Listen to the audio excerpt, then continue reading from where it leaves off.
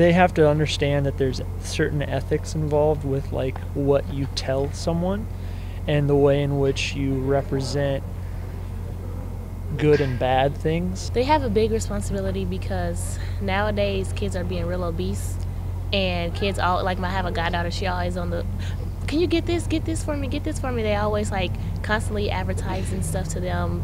Usually not really positive things that they need in their life for the most part, majority of the time. All advertisers don't have the same perspective on it. Some of them are more okay with trying to market things that are neg- that negatively affect kids' lives.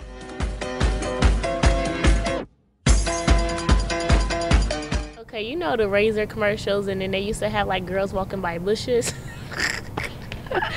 I mean, it was funny, but like when my goddaughter and like little my little siblings seen it, they're like, "What did that mean?" I'm like, you know what? Don't even worry about it. Y'all just don't need to know. Some stuff they just shouldn't like. I mean, it was funny, but come on now, seriously, that was just they just drug it out. I heard about an ad that got canceled. I want to say it was for Ford or some truck company, where the pictures were just uh, like women like gagged and tied up in the back seat or whatever, and uh, the premise was like, it's like hide your problems or get rid of your problems or something like that. Okay, the Calvin Klein ad is the dude where he's half naked in You were his looking at the guy? underwear. How do you not see it? He was half naked in his underwear, and the camera was twirling around him and stuff like that. And he had a big, I don't know if this, is this gonna be bleep bulge. yeah, it was out of control. And me being a guy, it just made me mad to watch it.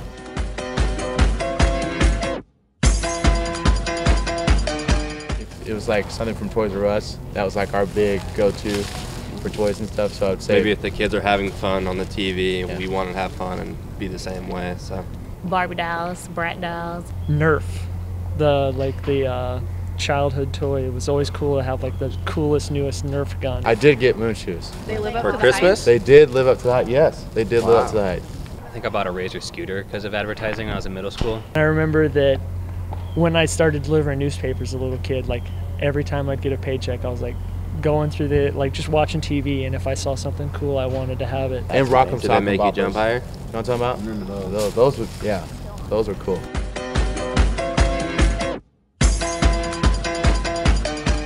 Advertising needs to be more like user friendly i should say and more positive things in their life not just always like the food and the candy like uh, fatty foods. That's why a lot of kids i said in the beginning are obese and that's why a lot of kids always want like the toys. They need to promote like going outside or doing something different with their life instead of just watching tv and eating food all the time.